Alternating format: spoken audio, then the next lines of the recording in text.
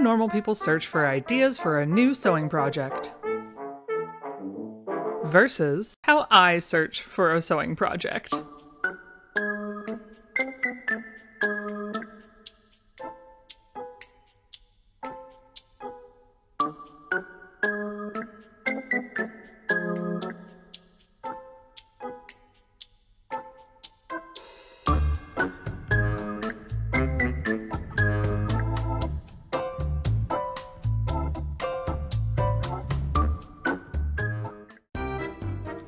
Be advised, the project you see in front of you is not the project we'll be doing today.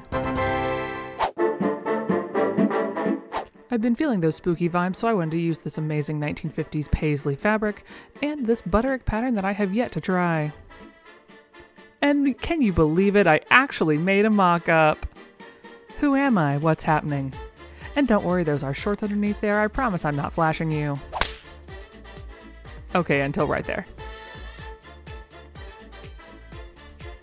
Overall, it did fit. It was a little big, but I wasn't too worried about it.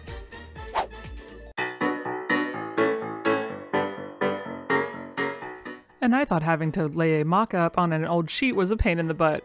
Wait until I had to do it with the actual fabric. What you can see here is what we called struggle bussing. Struggle bussing is what is known as when Stephanie prays she has enough fabric but probably doesn't. Nope, that won't fit there either. Thousands of tears later. After I composed my felt from the floor, I realized that I had to do the unthinkable, which is actually cut the back piece in half. And yes, I know this is a princess line dress, but uh, you do what you gotta do. There was one upside though.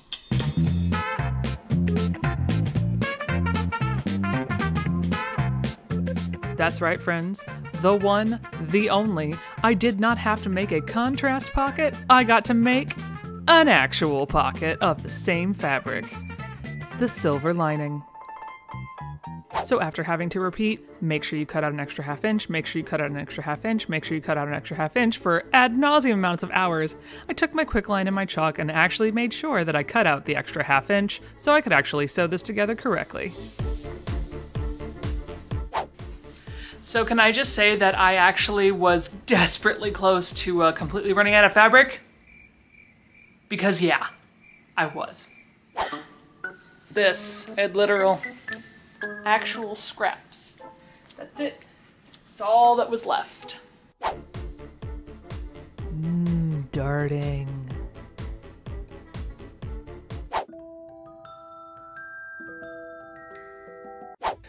Hello and welcome. Hi, hi, hi. Day two. Hello. Have I completely stalled until about mm, 11:30 in the morning doing this? Yes, yes, I have. But in my defense, I was doing some uh, tailor tacks to because I hadn't bothered to do that before. Anyway, let's just uh, do a quick recap on what I did last night off camera. So after I did the darts in this lovely bonus shenanigans, this dude right here, bam, uh, you can see I did actually go ahead and put it together all the way through here.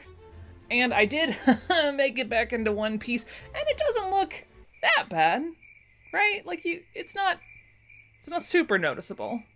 Maybe I need to make a belt. I don't know. I also made the pockets because pockets, a girl's best friend. Pockets and sedition, friends, pockets and sedition. Uh, I did go ahead and cut those out make them all baste them so that they can go right on the front pieces. Now, as far as the instructions go, I'm supposed to have put in like an inner, oh God, as I tear it, I'm supposed to put in an interfacing piece, which I haven't cut out yet. And then I'm supposed to go down and go ahead and start with the front darts, which is what I'm going to do next.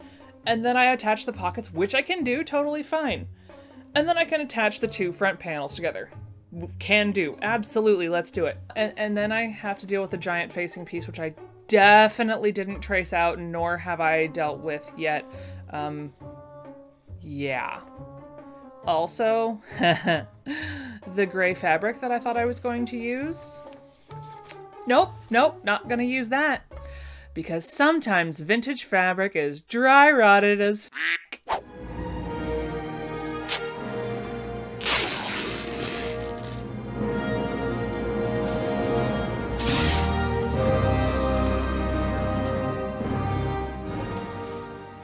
But that's enough stalling, so let's go ahead and get sewing that now, shall we?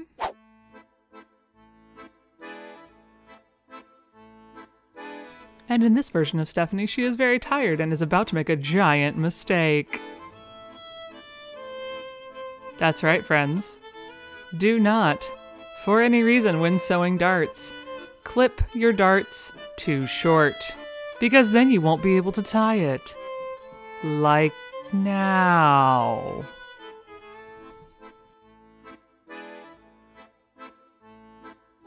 One eternity later. Success! And hey, it's pocket time, y'all. Mmm, pockets. This is, of course, me not watching Jedi Amanda unbox her beautiful new machine while sewing. Nope, nope, not jealous, not even a little bit, not not even a little. No, I'm completely jealous. It's so amazing. I want it. Now, logically, the next step should be to attach these interfacing pieces, you know, once I size them up to the correct size. However, we have got something much more important to do. Come on.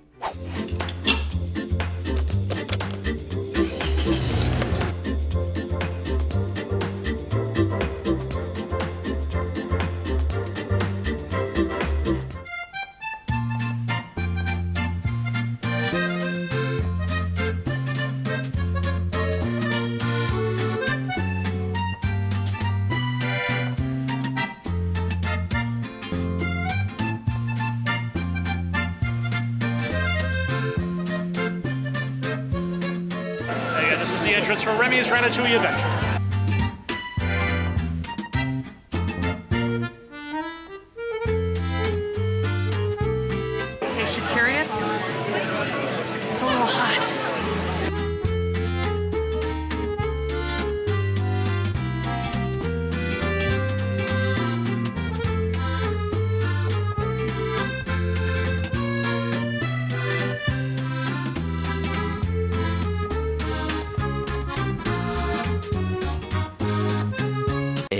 Few moments later.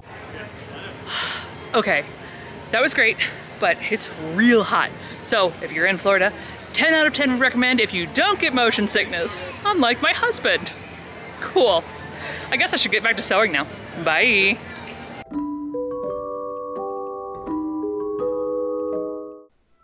Good morning. It is actually still morning this time. I. well, last night was fun.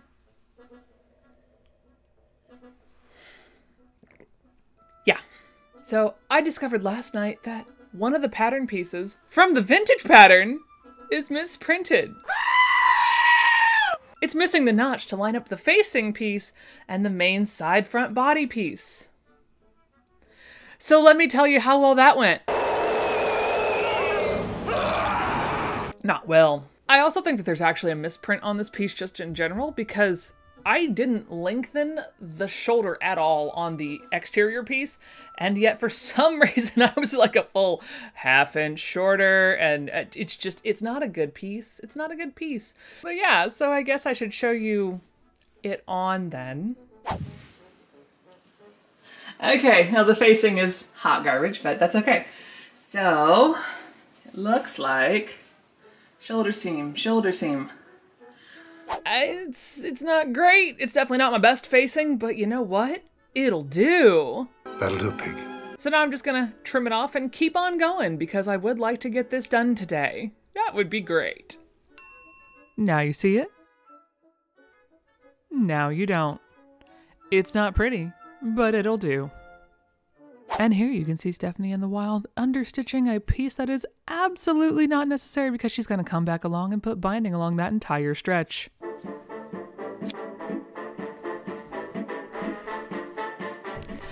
Well, hello there, friends. I uh, might have gotten a little sidetracked, and also, this was all the bias tape I had left. That was it, right there. That's it, the entirety of it.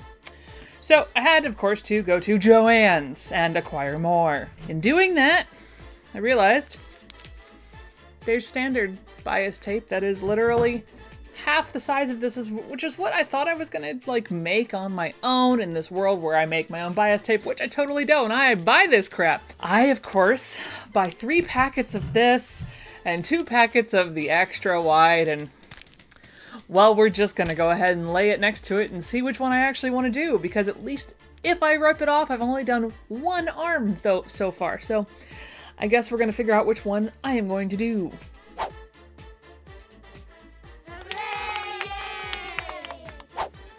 half inch seam binding.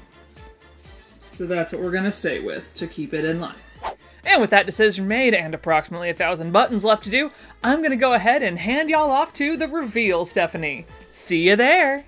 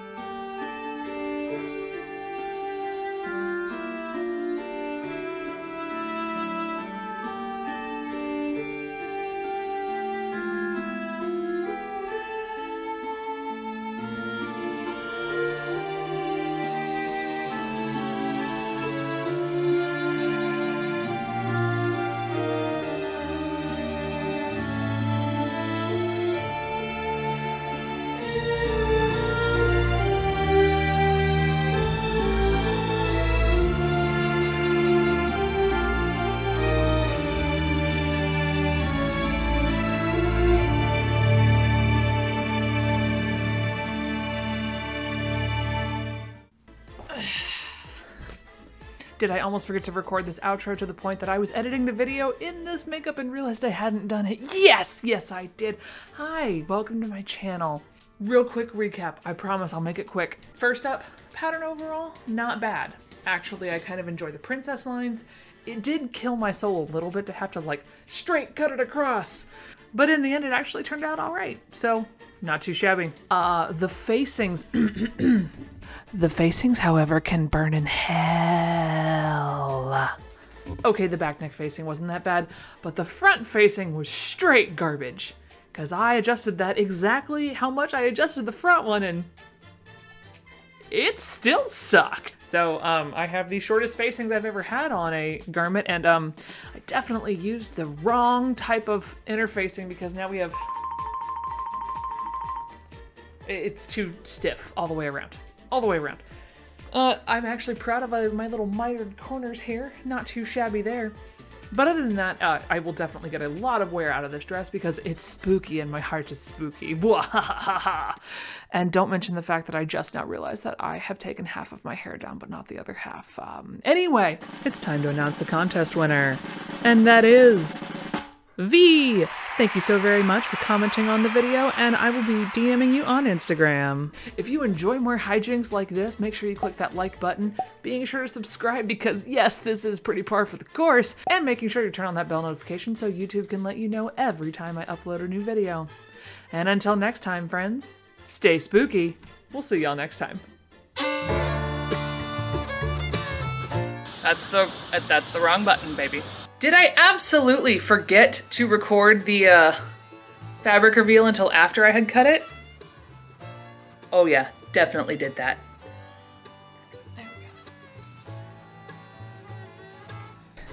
Alright, and with that decision made and about a thousand buttons to do, I'm just gonna go ahead and step y'all off to... Nope. And with that decision made and approximately 1,000 buttons, uh, yeah. And now I'm too big in the frame. Excellent.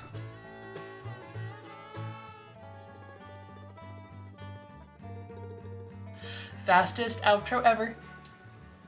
In garbage lighting.